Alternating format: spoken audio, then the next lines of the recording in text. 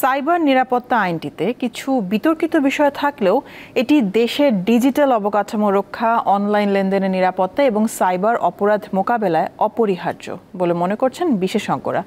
সব পক্ষের মত নিয়ে এই আইন সংশোধনের কথা জানিয়েছেন তথ্য ও যোগাযোগ প্রযুক্তি সচিব।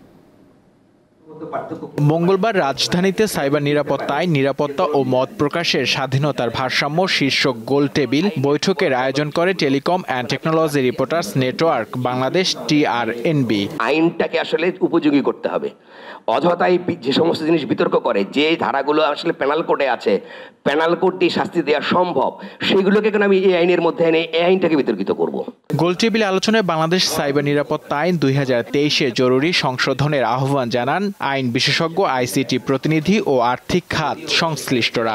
কিন্তু আমাদের প্রবলেমটা হচ্ছে আমরা আইন নিয়ে কথা বলছি আমরা ডাঙার আইনটাকে দেখে ডাঙার খুঁটিটাকে দেখে জলের উপর আঁকিবুকি করার চেষ্টা করছি।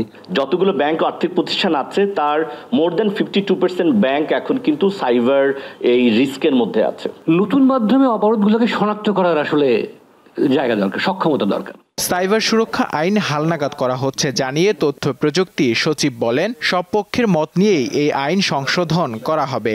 Number of reform activities যার মধ্যে focusing on this this cyber security act নিশ্চিত থাকেন।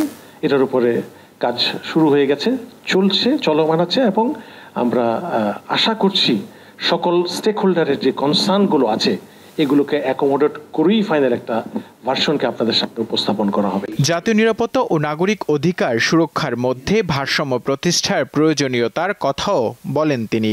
আমার সাইবার সিকিউরিটি আইন অন্যত্র আছে কিনা? নূর আলম দীপ্ত সংবাদ ঢাকা।